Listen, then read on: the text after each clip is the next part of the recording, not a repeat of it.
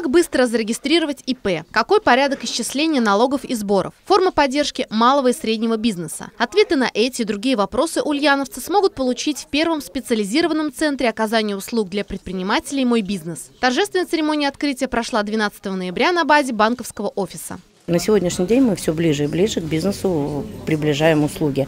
Если бизнес э, до сегодняшнего дня мог получать услуги в 27 МФЦ, в двух МФЦ для бизнеса, и сегодня в центре города Ульяновска открывается такой прекрасный центр, где бизнес э, только начиная открывать свой свой бизнес, заходит в одно место, в одну точку, в одну дверь и получает весь спектр услуг. Время – деньги, сказал когда-то Бенджамин Франклин, и его фраза стала афоризмом. Согласны с этим и учредители нового центра. Главная ценность для предпринимателей в том, что теперь им не нужно будет ждать в очередях, чтобы получить услуги Росреестра, кадастра и налоговой инспекции. Всего порядка 20 государственных и муниципальных услуг, в том числе и комплекс банковских, можно оформить в одном месте. Молодой человек или, э, или просто человек не хочет идти в органы государственной власти, он априори боится о том, что ну а как ему там подскажут, а что ему там скажут, да, так ли это будет на самом деле. Поэтому ему нужно такое, если хотите, клиентская зона.